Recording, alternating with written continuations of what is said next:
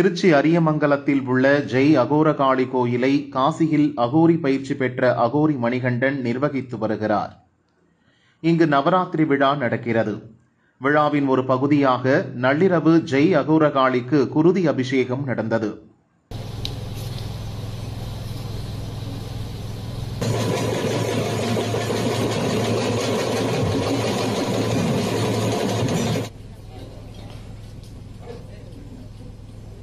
அகோரிகள் உடல் முழுவதும் திருநீறு பூசிக்கொண்டு சிறப்பு யாக பூஜை நடத்தினர்.